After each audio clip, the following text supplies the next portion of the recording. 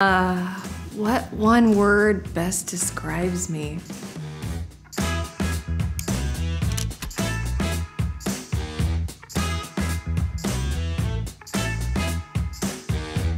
Overly enthusiastic about everything. I'm Dr. Margaret Elmer Dixon, and I teach in the physics department and also occasionally in MIE. My background is biophysics, and I'm currently doing research in applied material science. I incorporate extensive amounts of physical experiences into my active learning classroom.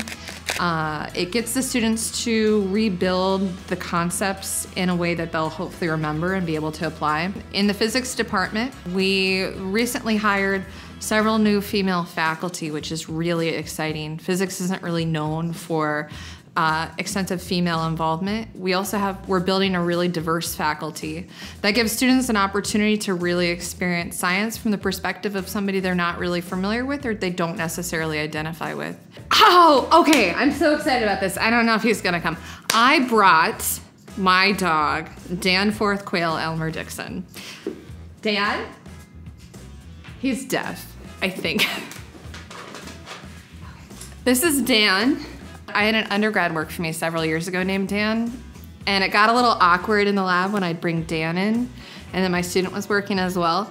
Um, but this is Dan. He shows up in a lot of my examples in my intro class.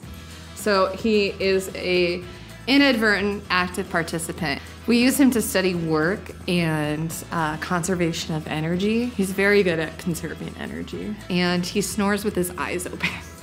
One thing that drew me to UMD is that you get really quality education at a regional hub, which means that you don't have to go far to do well and succeed.